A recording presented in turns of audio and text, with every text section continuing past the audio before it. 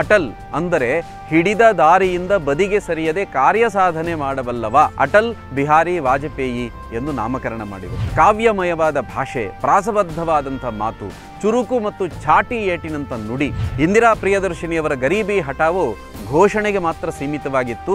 ಅವರ ಸರ್ವಾಧಿಕಾರಿ ವರ್ತನೆ ದೇಶವನ್ನು ಕಂಗಡಿಸಿತ್ತು. ಪ್ರಧಾನಿ ಹುದ್ದೆಗೆ ರಾಜೀನಾಮೆ ನೀಡಬೇಕಾಗಿದ್ದ ಇಂದಿರಾ ತುರ್ತು ಪರಿಸ್ಥಿತಿ ಹೇರಿತು. ಅಟಲ್ಜಿಯವರನ್ನ ಬೆಂಗಳೂರಿನ ಸೆಂಟ್ರಲ್ ಜೈಲಿನಲ್ಲಿ ಇಡಲಾಯಿತು. ಒಳಗಿದ್ದುಕೊಂಡೇ ಇಂದಿರಾ ಕಪಿಮುಷ್ಟಿಯಿಂದ ದೇಶವನ್ನು ಪಾರು ಮಾಡೋದು ಹೇಗೆಂಬ ಕುರಿತಾಗಿ ಚಿಂತನೆ ನಡೆಸ್ತಾ ಇದ್ರು. ಕಾಂಗ್ರೆಸ್ ಹಿಂದೆಂದೂ ಕಂಡು ಕೇಳರಿಯದಂಥ ಸೋಲನ್ನು ಅನುಭವಿಸಿತು.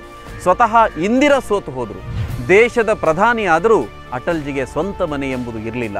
ಅಮೆರಿಕದಂಥ ಜಗತ್ತಿನ ದೊಡ್ಡಣ್ಣನನ್ನೇ ಎದುರು ಹಾಕಿಕೊಂಡು ಪೋಖರಣ್ನಲ್ಲಿ ಎರಡು ಪರಮಾಣು ಪರೀಕ್ಷೆಗಳನ್ನು ಮಾಡಿ ಜೈ ಜವಾನ್, ಜೈ ಕಿಸಾನ್ ಜೊತೆಗೆ ಜೈ ವಿಜ್ಞಾನ್ ಎನ್ನುತ್ತಾ ರಾಷ್ಟ್ರವನ್ನು ಜಗತ್ತಿನ ಆ ಶಕ್ತಿಶಾಲಿ ದೇಶಗಳ ಸಾಲಿನಲ್ಲಿ ನಿಲ್ಲಿಸಿದ ಮಹಾಪುರುಷ ಸೋಲೊಪ್ಪದ ಕವಿ ಹೃದಯಿ ಅಟಲ್ ಬಿಹಾರಿ ವಾಜಪೇಯಿ. ಅಲಹಾಬಾದ್ ವಿಶ್ವವಿದ್ಯಾನಿಲಯದಲ್ಲಿ ಒಂದು ಭಾಷಣ ಸ್ಪರ್ಧೆ. ದೇಶದ ಉತ್ಕೃಷ್ಟ ಭಾಷಣಕಾರರೆಲ್ಲ ಭಾಗವಹಿಸುವ ಪ್ರತಿಷ್ಠಿತ ಸ್ಪರ್ಧೆಯದು ಮುಂದೆ ರಾಷ್ಟ್ರೀಯ ಸ್ವಯಂ ಸೇವಕ ಸಂಘದ ಸರಸಂಘ ಚಾಲಕರಾದ ಪ್ರೊಫೆಸರ್ ರಾಜೇಂದ್ರ ಸಿಂಹಜಿ ಅಲಹಾಬಾದ್ ವಿವಿಯಲ್ಲಿ ಆಗ ಉಪನ್ಯಾಸಕರಾಗಿದ್ದರು. ನಟ ಅಮಿತಾಬ್ ಬಚ್ಚನ್ ಅವರ ತಂದೆ ಹರಿವಂಶ್ ರಾಯ್ ಬಚ್ಚನ್ ಅಂದಿನ ಭಾಷಣ ಸ್ಪರ್ಧೆಯ ತೀರ್ಪುಗಾರರಲ್ಲೊಬ್ಬರಾಗಿದ್ದರು ಭಾಷಣ ಸ್ಪರ್ಧೆ ಮುಗಿಯಿತು ಇನ್ನೇನು ವಿಜೇತರ ಹೆಸರನ್ನು ಘೋಷಿಸುವಂತಹ ಸಮಯ.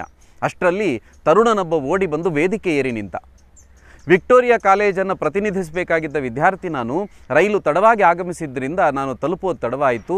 ದಯವಿಟ್ಟು ನನಗೆ ಮಾತಾಡಲಿಕ್ಕೆ ಅವಕಾಶ ನೀಡಿ ಅಂತ ಭಿನ್ನವಿಸಿಕೊಂಡ ಅವನ ಕೋರಿಕೆಯನ್ನು ಸಂಘಟಕರು ನಿರಾಕರಣೆ ಮಾಡಬಹುದಿತ್ತು. ಆದರೆ ಅವನ ಮಾತಿನಲ್ಲಿದ್ದ ಸೌಜನ್ಯ, ವಿನಯದ ಆರ್ದ್ರತೆ, ಕಳಕಳಿಯ ದೈನ್ಯತೆ ಅವರೆಲ್ಲರನ್ನ ಕಟ್ಟಿಹಾಕಿತು ಇಡೀ ಸಭೆ ಆ ತರುಣನಿಗೆ ಅವಕಾಶ ನೀಡಬೇಕು ಅಂತ ಒಕ್ಕರಲಿನಿಂದ ಕೂಗಿತು ಸಂಘಟಕರು ಸಮ್ಮತಿಸಿದರು.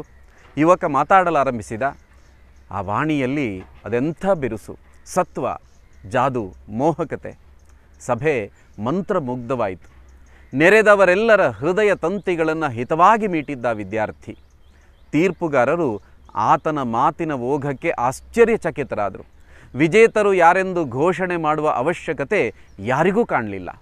ಆತನ ಗೆಲುವು ಸರ್ವಮಾನ್ಯವಾಗಿತ್ತು.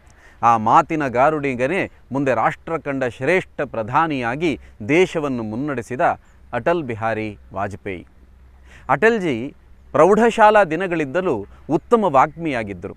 ಕಾವ್ಯಮಯವಾದ ಭಾಷೆ, ಪ್ರಾಸಬದ್ಧವಾದಂಥ ಮಾತು, ಚುರುಕು ಮತ್ತು ಚಾಟಿ ಏಟಿನಂಥ ನುಡಿ ಅವರ ಮಾತುಗಾರಿಕೆಯ ಜೀವಾಳವಾಗಿತ್ತು. ಈ ಕಲೆ ಅವರಿಗೆ ತಂದೆ ಹಾಗೂ ತಾತನ ಬಳುವಳಿ ಎಂದರೆ ತಪ್ಪಾಗಲಾರದು. ತಾತ, ಸಂಸ್ಕೃತ ವಿದ್ವಾಂಸರು, ತಂದೆ ಹಿಂದಿಯ ಉತ್ತಮ ಸಾಹಿತಿ, ಗ್ವಾಲಿಯರ್ ಪ್ರಾಂತದ ಗೌರವಾನ್ವಿತ ಕವಿ ಕೃಷ್ಣ ಬಿಹಾರಿ ವಾಜಪೇಯಿ. ಹುಟ್ಟಿದ್ದು ಸಾವಿರದ ಒಂಬೈನೂರ ಇಪ್ಪತ್ನಾಲ್ಕು ಡಿಸೆಂಬರ್ ಇಪ್ಪತ್ತೈದು.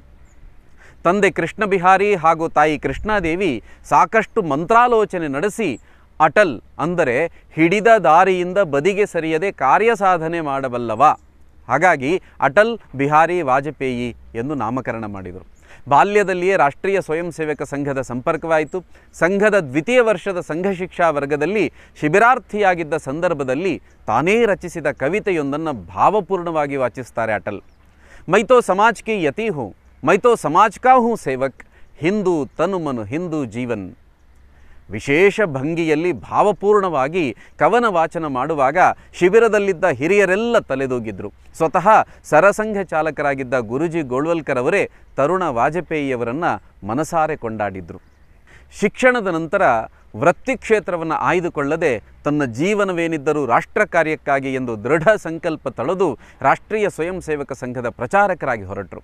ಸಾವಿರದ ಒಂಬೈನೂರ ಐವತ್ತೊಂದು ಅಕ್ಟೋಬರ್ ಇಪ್ಪತ್ತೊಂದರಂದು ಡಾಕ್ಟರ್ ಶ್ಯಾಮಪ್ರಸಾದ್ ಮುಖರ್ಜಿಯವರ ಅಧ್ಯಕ್ಷತೆಯಲ್ಲಿ ಭಾರತೀಯ ಜನಸಂಘದ ಸ್ಥಾಪನೆಯಾದಾಗ ಸಂಘದ ಆಗಿನ ಸರಸಂಘ ಚಾಲಕರಾದ ಶ್ರೀ ಗುರುಜಿ ಗೋಳ್ವಲ್ಕರ್ ಅವರು, ದೀನದಯಾಳ್ ಉಪಾಧ್ಯಾಯ, ಅಟಲ್ ಬಿಹಾರಿ ವಾಜಪೇಯಿಯವರಂತಹ ನಿಸ್ವಾರ್ಥಿ ಹಾಗೂ ದೃಢನಿಶ್ಚಯ ಹೊಂದಿರುವ ಸಂಘದ ಕೆಲವು ಕಾರ್ಯಕರ್ತರುಗಳನ್ನು ಭಾರತೀಯ ಜನಸಂಘಕ್ಕೆ ಕಳಿಸ್ತಾರೆ. ಅಲ್ಲಿಂದ ಅಟಲ್ಜಿಯವರ ರಾಜಕೀಯ ಯಾತ್ರೆ ಪ್ರಾರಂಭ ಆಯಿತು. ಸಾವಿರದ ಒಂಬೈನೂರ ಐವತ್ತೇಳರಲ್ಲಿ ನಡೆದ ಲೋಕಸಭಾ ಚುನಾವಣೆಯಲ್ಲಿ ಸ್ಪರ್ಧಿಸಿ ಬಲರಾಂಪುರದಲ್ಲಿ ಗೆದ್ದು ಲೋಕಸಭೆಯಲ್ಲಿ ಮೊದಲ ಹೆಜ್ಜೆಯನ್ನಿಟ್ಟರು ಅಟಲ್ ಬಿಹಾರಿ ವಾಜಪೇಯಿ. ವಿದೇಶಾಂಗ ನೀತಿಯ ಕುರಿತು ಸದನದಲ್ಲಿ ಅಟಲ್ಜಿ ಮೊದಲ ಭಾಷಣ. ಮಾತನಾಡಲು ಸಿಕ್ಕಿದ್ದು ಕೇವಲ ನಾಲ್ಕು ನಿಮಿಷಗಳು ಮಾತ್ರ. ಆದರೆ ಅವರ ಮಾತಿನ ಓಘಕ್ಕೆ ಸಂಪೂರ್ಣ ಸದನ ಬೆರಗಾಯಿತು.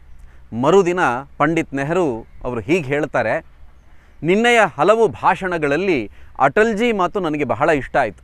ಕಡಿಮೆ ಸಮಯದಲ್ಲಿ ಅವರು ಮಂಡಿಸಿದ ವಿಚಾರ ಶಬ್ದ ಪ್ರಯೋಗ ಅನುಕರಣೀಯ.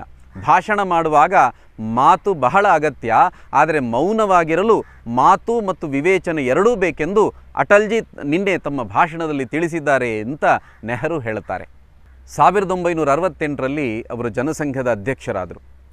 ದೀನದಯಾಳರ ಸ್ಮರಣೆಯಲ್ಲಿ ಜನಸಂಘವನ್ನು ಮುನ್ನಡೆಸುವ ದೀಕ್ಷೆ ತೊಟ್ಟರು. ಅವರ ಕಾರ್ಯವೈಖರಿ ದೀನದಯಾಳರ ನಂತರ ಮುಂದೇನು ಎಂಬ ಕಾರ್ಯಕರ್ತರ ಚಿಂತೆಯನ್ನು ದೂರ ಮಾಡಿ ಹೊಸ ಹುಮ್ಮಸ್ಸನ್ನು ಮೂಡಿಸಿತು. ಇಂದಿರಾ ಪ್ರಿಯದರ್ಶಿನಿಯವರ ಗರೀಬಿ ಹಠಾವು ಘೋಷಣೆಗೆ ಮಾತ್ರ ಸೀಮಿತವಾಗಿತ್ತು. ಅವರ ಸರ್ವಾಧಿಕಾರಿ ವರ್ತನೆ ದೇಶವನ್ನು ಕಂಗಡಿಸಿತ್ತು. ಆ ಸಂದರ್ಭದಲ್ಲಿ ಅಲಹಾಬಾದ್ ಹೈಕೋರ್ಟ್ ಇಂದಿರಾ ಗಾಂಧಿಯವರ ಚುನಾವಣೆ ಅನೂರ್ಜಿತವೆಂದು ತೀರ್ಪು ನೀಡಿತು ಪ್ರಧಾನಿ ಹುದ್ದೆಗೆ ರಾಜೀನಾಮೆ ನೀಡಬೇಕಾಗಿದ್ದ ಇಂದಿರಾ ತುರ್ತು ಪರಿಸ್ಥಿತಿ ಹೇರಿದರು.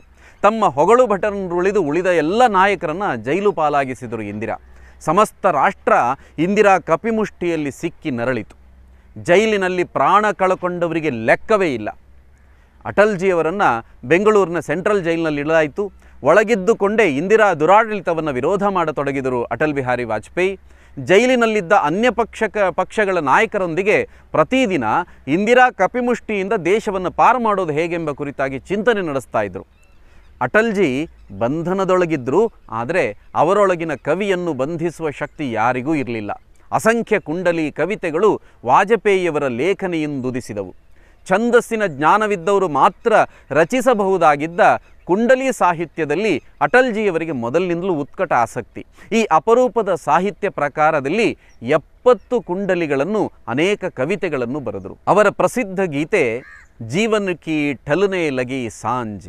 ಆ ಸಮಯದಲ್ಲೇ ಬೆಳಕು ಕಂಡಿತು ಮುಂದೆ ಆ ಎಲ್ಲ ಸಾಹಿತ್ಯಗಳನ್ನು ಸಂಗ್ರಹಿಸಿ ಅಟಲ್ಜಿ ಅವರ ಹಿತೈಷಿ ಪತ್ರಕರ್ತ ದೀನನಾಥ್ ಮಿಶ್ರಾ ಅವರು ಕೈದಿ ಕವಿರಾಯ್ಕಿ ಕುಂಡಲಿಯ ಎಂಬ ಒಂದು ಕೃತಿಯನ್ನು ಹೊರಗೆ ತರ್ತಾರೆ. ಸಾವಿರದ ಒಂಬೈನೂರ ಎಪ್ಪತ್ತೇಳರ ಚುನಾವಣೆ ಭಾರತದ ರಾಜಕೀಯ ಇತಿಹಾಸದಲ್ಲಿ ಮಹತ್ವಪೂರ್ಣ ಹಾಗೂ ಐತಿಹಾಸಿಕ ಚುನಾವಣೆ. ಭಾರತೀಯ ಜನಸಂಘ ಜನತಾ ಪಕ್ಷದೊಂದಿಗೆ ವಿಲೀನವಾಗಿ ಚುನಾವಣೆಯನ್ನು ಎದುರಿಸಿತು. ಕಾಂಗ್ರೆಸ್ ಹಿಂದೆಂದೂ ಕಂಡು ಕೇಳರಿಯದಂಥ ಸೋಲನ್ನು ಅನುಭವಿಸಿತು. ಸ್ವತಃ ಇಂದಿರ ಸೋತು ಹೋದರು. ಮೊರಾರ್ಜಿ ದೇಸಾಯಿ ನೇತೃತ್ವದಲ್ಲಿ ಹೊಸ ಸರ್ಕಾರ ಅಸ್ತಿತ್ವಕ್ಕೆ ಬಂತು. ಅಟಲ್ ಬಿಹಾರಿ ವಾಜಪೇಯಿಯವರು ಆ ನೂತನ ಸರ್ಕಾರದಲ್ಲಿ ಭಾರತದ ಪ್ರಥಮ ಕಾಂಗ್ರೆಸ್ಸೇತರ ವಿದೇಶಾಂಗ ಮಂತ್ರಿಯಾದರು. ಅವರು ಮಂತ್ರಿಯಾಗಿ ಒತ್ತಿದ ಛಾಪು ಇನ್ನೂ ವಿದೇಶಾಂಗ ಇಲಾಖೆಯಲ್ಲಿ ಜೀವಂತವಾಗಿದೆ. ಸಾವಿರದ ಒಂಬೈನೂರ ಎಂಬತ್ತು ಏಪ್ರಿಲ್ ಐದರಂದು ಭಾರತೀಯ ಜನತಾ ಪಕ್ಷ ಅಸ್ತಿತ್ವಕ್ಕೆ ಬಂದಿತು ಪ್ರಥಮ ಅಧ್ಯಕ್ಷರಾಗಿ ಅಟಲ್ಜಿ ಸರ್ವಾನುಮತದಿಂದ ಆಯ್ಕೆಯಾದರು ಸಮರ್ಥ ಮುತ್ಸದ್ದಿ ಎಂಬ ಹೆಸರು ಗಳಿಸಿದ್ದ ಲಾಲ್ ಕೃಷ್ಣ ಅಡ್ವಾಣಿಯವರ ಸಹಯೋಗದೊಂದಿಗೆ ಆರಂಭದಿಂದ ಪಕ್ಷ ಕಟ್ಟುವ ಹೊಣೆಗಾರಿಕೆಯನ್ನು ಹೊತ್ತು ದೂರದ ದಾರಿಗೆ ಸ್ಪಷ್ಟವಾದ ಗುರಿಯೊಂದಿಗೆ ಹೊರಟರು ಅಟಲ್ಜಿ.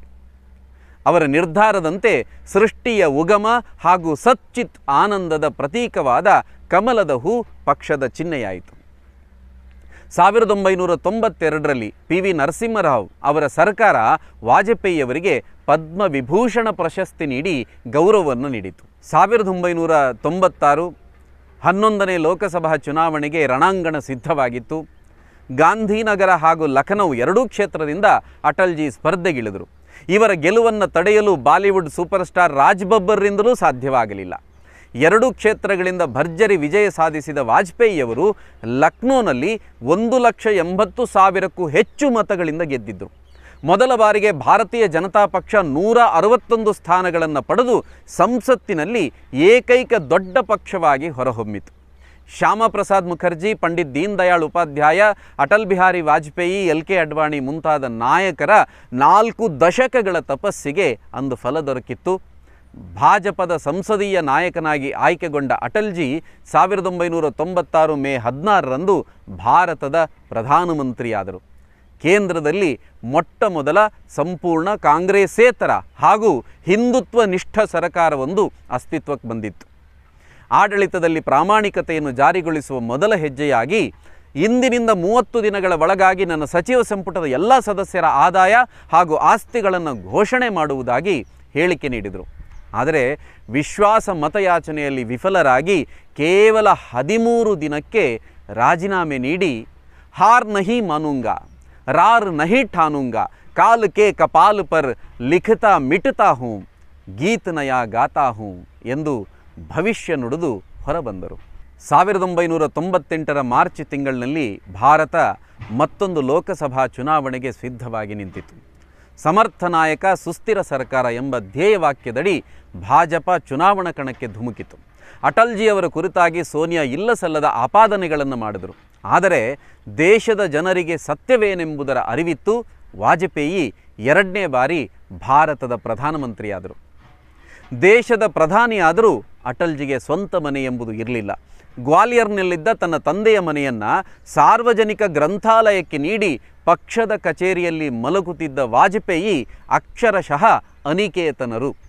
ಅವರ ಪರಿವಾರದ ಯಾವೊಬ್ಬ ಸದಸ್ಯನೂ ಪಕ್ಷದ ಜವಾಬ್ದಾರಿ ಅಥವಾ ಸಾಂವಿಧಾನಿಕ ಹುದ್ದೆಯನ್ನು ಅಲಂಕಾರ ಮಾಡಲಿಲ್ಲ. ತಾವು ಶಾಸಕ, ಸಂಸದ, ಸಚಿವರಾಗುವುದೇ ತನ್ನ ಕುಟುಂಬ, ತನ್ನ ಜಾತಿಯ ಏಳ್ಗೆಗಾಗಿ ಎನ್ನುವ ಸ್ವಾರ್ಥಿ ರಾಜಕಾರಣಿಗಳಿಗೆ ಅಟಲ್ಜಿ ಅವರ ರಾಜಕೀಯ ಜೀವನ ಅದು ದಾರಿದೀಪ. ಶಕ್ತಿ ಇದ್ದಲ್ಲಿ ಮಾತ್ರ ಶಾಂತಿ. ಹಾಗಾಗಿ ಭಾರತ ಜಗತ್ತಿನ ಶಕ್ತಿಶಾಲಿ ರಾಷ್ಟ್ರ ಆಗಬೇಕೆಂದು ಹಂಬಲಿಸಿದ ವಾಜಪೇಯಿಯವರು ತಮ್ಮ ಹದಿಮೂರು ದಿನಗಳ ಸರ್ಕಾರವಿದ್ದಾಗಲೇ ಅಣುಪರೀಕ್ಷೆಗೆ ಸಿದ್ಧತೆ ಮಾಡಿಕೊಳ್ಳುವಂತೆ ವಿಜ್ಞಾನಿಗಳಿಗೆ ಸೂಚಿಸಿದ್ದರು. ಮತ್ತೊಮ್ಮೆ ತಾನು ಅಧಿಕಾರಕ್ಕೆ ಬರುತ್ತಲೇ ಪರಮಾಣು ಪರೀಕ್ಷೆಗೆ ಸಿದ್ಧರಾಗೋಣ ಎಂದರು. ನಾವು ಸಿದ್ಧರಿದ್ದೇವೆ, ನೀವು ಮತ್ತೆ ಬರುವುದನ್ನೇ ಕಾಯುತ್ತಾ ಇದ್ದೆವು ಎಂದಿದ್ದರಂತೆ ವಿಜ್ಞಾನಿಗಳು.